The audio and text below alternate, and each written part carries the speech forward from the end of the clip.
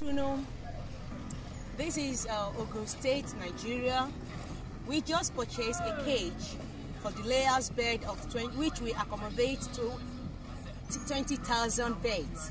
The engineer is here to show you around. This cage has the feeding silo.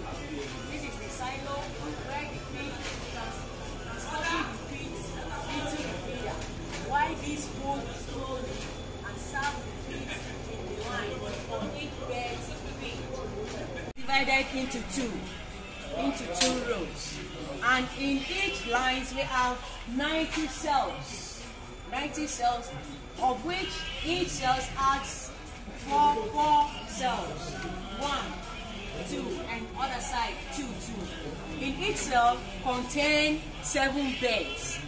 It's very, very spacious. And this space give easy, give their life easy. This cage has four, tier, four tiers. This is one, two, three, and the last one here. So it has a water regulator.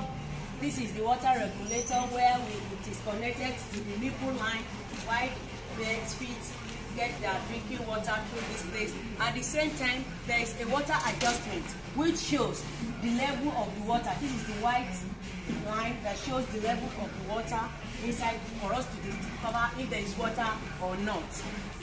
Cage has two egg collectors, which brings the eggs from the first tiers and deliver to the front here, oh, and here, where we can pick our eggs. And this is the regulator that brings the eggs to the front of the pen.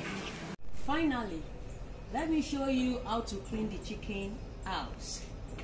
Each chase has a conveyor belt, a manual conveyor belt that move the chicken manure from the front down to the back of the chicken house where we have a green belt, a manual green belt that conveys the, belt, the manure waste and push it out, push it out of the chicken house.